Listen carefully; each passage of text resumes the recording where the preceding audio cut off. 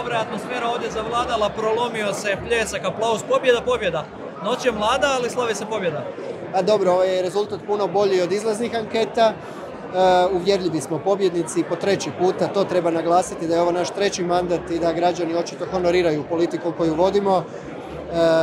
Druga strana, predvođena Milanovićem, vodila jednu prljavu kampanju, nikad agresivniju prema HDZ-u, međutim pokazalo se da građani to ne honoriraju i uvjerljivi smo pobjednici. Koliko će biti sad točno mandata na kraju u ovom trenutku je teško prognozirati jer ima još tu rubnih mandata i E, vidjet ćemo koji će biti konačni ishod, ali ono što je sigurno HDZ je uvjerljivi pobjednik ovih izbora. Recept za sastav nove vlade, očekujete li sada s obzirom na ove dobre rezultate da možda neće biti niti potrebno suradnje sa strankama, odnosno hoće li biti dovoljni zastupnici dijaspore i manjine?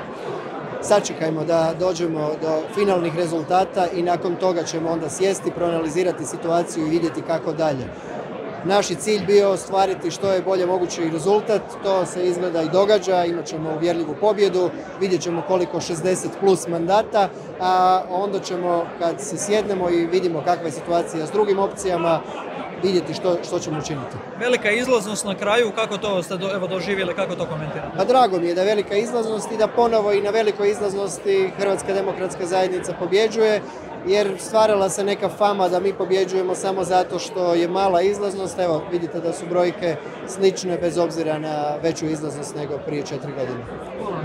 Hvala i vama.